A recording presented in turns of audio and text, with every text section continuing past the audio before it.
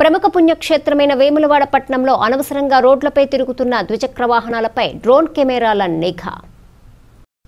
Lockdown నేపథ్యంలో కఠినమైన ఆంక్షలు ఉండటం వల్ల అనవసరంగా ద్విచక్ర వాహనదారులు ఇతర వాహనాలు రోడ్లపైకి తిరగవద్దని సూచించినప్పటికీ కొందరు అనవసరంగా బయటకు రావడంతో ప్రభుత్వ లక్ష్యం నెరవేరటం లేదు. దీన్ని అధిగమించడానికి రాజన్న సిరిసిల్ల జిల్లా ఎస్పీ రాహుల్ హెగ్డే ఆదేశాల మేరకు డ్రోన్ కెమెరాలతో నిఘా చేపట్టారు.